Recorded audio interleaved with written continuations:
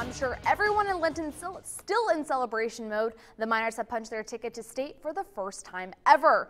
Brian Oliver's crew beat North Vermillion 56-27 on Friday to win their fourth semi-state game.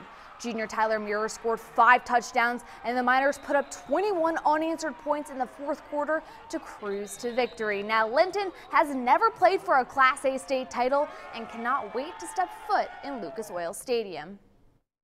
There's no feeling it feels like. I don't know. It's the best thing that's happened to me in the world. It's definitely more than a dream country. Like we worked so hard for this. I mean, we're all so hungry for this. 0 and 8 coming in. We want to get that one victory, and I was sure glad to be at my senior class. A little information on Linton's opponent. Lafayette Central Catholic enters Friday's championship game with a 14-0 record on the line.